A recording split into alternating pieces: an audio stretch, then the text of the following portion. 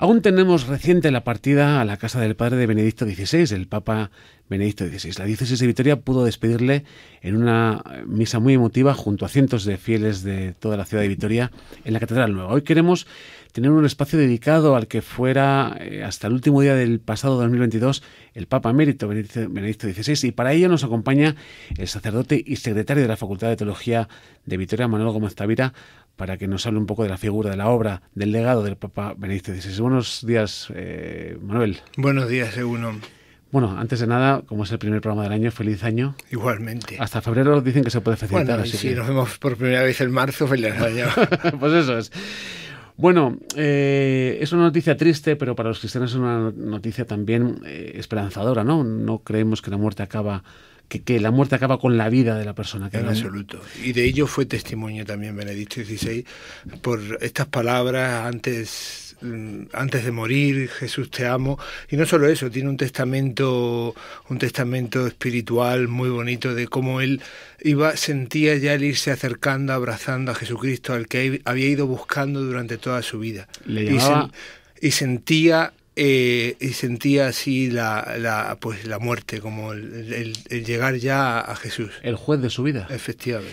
Bueno, primera pregunta directa. ¿Cómo crees que va a pasar a la historia el Papa Benedicto XVI? el Papa Benedicto XVI podría pasar por muchísimas cosas, especialmente porque es uno de los grandes intelectuales teológicos, filosóficos, y no solo en el marco eclesiástico, sino en el marco universal de, este siglo XX y siglo XXI. Pero yo creo que va a pasar a la historia su pontificado por, por su dimisión.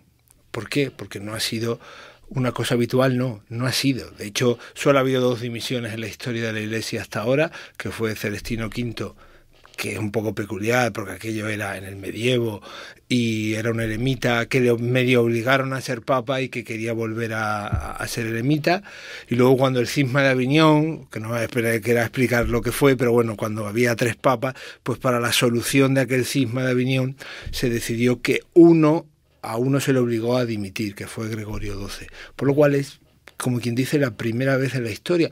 Y no solo porque sea la primera vez de la historia, sino en este momento histórico, bueno, en cualquiera, porque normalmente el poder a todo el mundo le gusta, le agrada y no y nadie se baja del poder. Y creo que eh, fue un gesto, eh, fue un gesto hace 10 años, porque va a ser ahora, casualmente casi hubiera llegado a 10 años, en el, 12, el 12 de, febrero y se, se, fue el 28 de febrero del 2013, pues fue un gesto en el que demostró al mundo la humildad de decir, que cuando todo el mundo lucha por mantenerse en el poder, en su pequeño chiringuito, ya no tienen que ser los políticos, sino a veces en, nuestra, en nuestros propios círculos, todos queremos tener nuestro eco de importancia. Y él que no tenía por qué dimitir, ni nadie le tenía que volver a votar, no va a elecciones, podía estar hasta que muriera y era lo normal, él decide de que él ya físicamente pues no está para llevar la barca de, de la Iglesia y decide dimitir. Creo que eso es un gesto de una humildad, de, de, una sencillez que no ha sido todavía suficientemente valorado en Benedicto XVI. Mm. Pero porque él en sí, él en sí era una persona muy humilde. Yo recuerdo cuando le, le, nombraron papa, yo estaba, yo estaba en Roma, porque yo estaba estudiando allí en Roma por aquel entonces. Y a él se le veía la cara allí en, San Pedro y se había visto las imágenes. Él estaba superado por todo. Él era un hombre tímido, humilde, sencillo, un, un, estudioso que había estado toda la vida. Cuando murió Juan Pablo II, su deseo era volver a Alemania. No, no, él tenía, él tenía ya todo previsto. Él tenía absolutamente todo previsto. Él tenía previsto, pues ya, pues claro, tenía 78 años, ya estaba pasado de fecha, pero bueno, todavía no le habían aceptado la dimisión, pues por aquello de que el Papa estaba, llevaba ya varios años que, y claro, era un él era el prefecto de doctrina de la fe, lo cual era un, tampoco era eh, obispo de una diócesis pequeña. Entonces, eh, eh, él estaba, pero él ya, en el momento que murió Juan Pablo II, él ya tenía todo previsto para con el nuevo papa irse, o sea, él no y de hecho a, a, sus más cercanos, porque estos días lo hemos escuchado en testimonio, pues lo decía que ni primero ni quería ser papa, que todo el mundo sabíamos que iba a ser él. Yo que estaba en Roma, o sea, había un, un, rumor, un ambiente de que iba a ser el primero. Porque, claro, es que él, es de una. Eh, la humilía del entierro de Juan Pablo II, que la tiene en las redes, bueno, aquel entierro y aquellos días, porque él, como era el decano del, Colegio Cardenalicio, pues habló muchas veces, dio muchos discursos. Es que cada discurso de Benedicto XVI, da igual, aunque sea un minuto, no le sobra una coma. Y claro, había como un... O sea, en esos días, si, si, algún cardenal tenía alguna duda de votarlo, pues eh, lo votó rápidamente. De hecho, fue rap, ha sido de los últimos conclaves uno de los más rápidos. Sí, sí, sí. Manuel, yendo más a nuestra tierra, eh, en su corto histórico pontificado viajó tres veces a España, porque él entendía que para la Iglesia somos puente entre Europa y Latinoamérica. Proclamó santos y beatos españoles, además de nombrar a San Juan de Ávila como doctor de la Iglesia. Seis cardenales españoles fueron creados por él. ¿Qué pozo deja Benedicto XVI en España, en nuestro país? Benedicto XVI, para empezar, le tenía mucho cariño a España, porque no solo como. Vamos a ver, nada más que quiere a, los números. Eh, Benedicto XVI hizo 24 viajes, siendo papa, o sea, siendo cardenal. O, hizo 24, y de 24, 3 vino a España, porque en sí ha sido un pontificado breve, 8 años, 7 años y medio. Eh, no, 8 años, perdón. Eh, ¿Qué ocurre? No solo que le tenía un cierto cariño, que él había venido también como cardenal muchas veces a hacer conferencias, estuvo en Madrid poco antes de ser, de ser papa, pero creo que son significativas también sus, sus estancias aquí en España, las tres veces que vino. La primera en, 2000, en 2005, recién elegido papa con la, el encuentro de las familias en Valencia cuando vino en 2010 a Santiago y a la Sagrada Familia y cuando vino a los jóvenes. ¿Por qué digo? Porque son los cuatro, digamos, eh, los cuatro ítems que también a él le han preocupado mucho en su pontificado. Uno, la familia, y vino al encuentro de las familias aquí a España como familia, como núcleo de la sociedad y como puente de la iglesia, la sociedad, etcétera, etcétera, que siempre recalca mucho en su discurso. Luego, en la segunda visita doble que era el jubileo de, Santiago Jacobeo, pues para él el camino de Santiago era muy importante. Porque él, él, él es que la profundidad de él, eh, cada gesto es importante, porque el camino de Santiago había vertebrado Europa en todo el medievo. Camino de Santiago es muy importante no solo por peregrinar a la, tumba de Pedro, es algo que vertebró artística y cristianamente Europa en, el siglo, en, la época medieval. Y a Benito XVI le preocupaba mucho eh, la descristianización del continente, de Europa, de la vieja Europa, muchas veces hablaba de ello. Luego también la consagración de la Sagrada Familia en Barcelona, en ese mismo viaje. Eh, porque claro, muchos, todos conocéis la Sagrada Familia, por lo menos aunque sea por imágenes, y, y, los que habéis tenido la suerte de visitarla. La Sagrada Familia es un templo hecho por Gaudí que es pura catequesis desde cualquier esquina.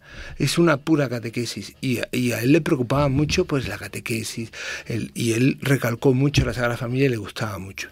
Y luego por último el encuentro de, el encuentro de jóvenes, que eh, fue un testimonio. Yo estaba allí, recuerdo en el 2011 allí en, en, Cuatro Vientos, sobre todo el día de la, víspera, la, vigilia. A mí no se me olvida, hace una calor en Madrid insoportable, pero insoportable como ha hecho aquí este verano en Vitoria, pues allí mm. igual, insoportable. Pues claro, vino una tormenta y estábamos en plena vigilia que habían traído la custodia de Toledo, la de la catedral. de, la catedral de, Toledo, estaba allí un señor ya de 80 años, bueno, 82, eh, allí de rodillas delante de la custodia, diluviando, le pedían, Santo Padre, vamos, para retirarlo.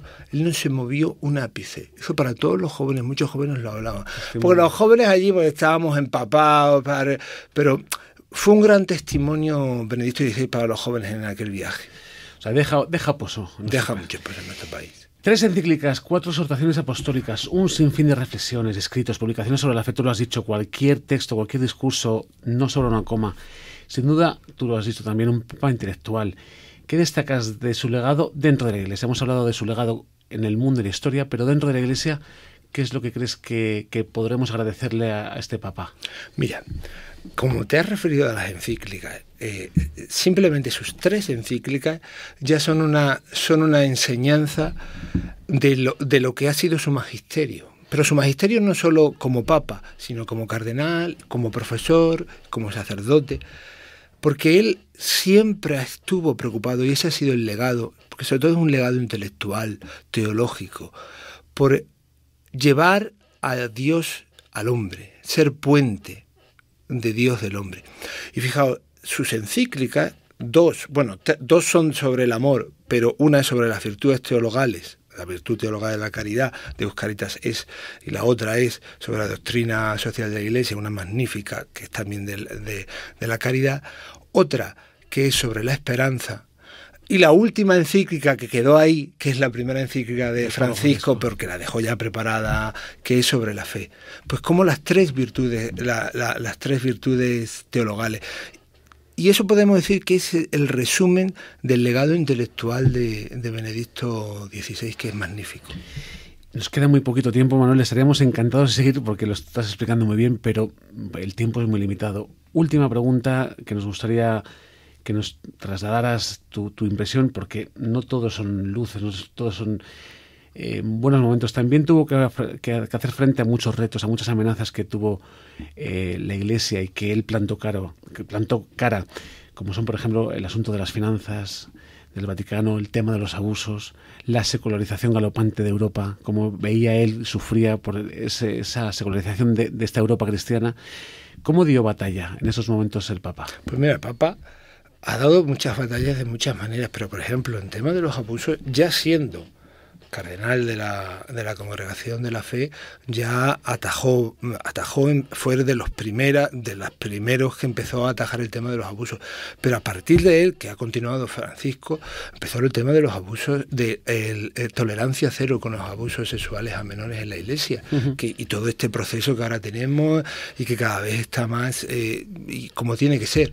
Y no solo eso, eh, comenzó un proceso a Maciel, eh, tan conocido fundador de, que, que, era un proceso duro porque era el fundador y él no tuvo no le dolió no le dolió prenda. Y con tema de que has dicho de las finanzas pues también había ahí pues, cosas muy oscuras en las finanzas sobre todo de la ciudad del tema de la ciudad del Vaticano pues aquello de que tiene también un banco, el, el IOR, tal. Bueno, pues él eh, eh, eh, fue el que empezó a renovar toda esa estructura. Y claro, también fue una de las razones por las que el límite, no porque no pudiera con ello, sino consideraba que la iglesia tenía muchas problemáticas ahora y requería una persona ya con una fuerza física mayor. Él tenía 85 años. Y humildemente decía, yo ya, o sea, considero que yo no puedo con todo esto. Yo he comenzado un camino que tiene que emprender otro. Y creo que es, terminando con lo que he empezado, eso es lo que nos enseña cada uno de nosotros. Que a veces tenemos que decir, hasta aquí he llegado yo, le doy la mano a otro que continúe mi camino. La verdad que efectivamente el legado que dejas profundo eh, la iglesia que le dejó a Francisco también fue más amable de la que él recogió, eso sin ninguna duda. Sin ninguna duda. Y, bueno, solamente comentar a los oyentes que eh, Manuel Gómez Tavira, sacerdote, eh, profesor de la Facultad de Teología, secretario de la Facultad de Teología, es el primero de los que va a pasar por aquí para hablar de este gran Papa de Benedicto XVI. Le agradecemos mucho, te agradecemos mucho, Manuel, que hayas estado con nosotros. Muy a gusto aquí. Muchas gracias, Manuel. A ti.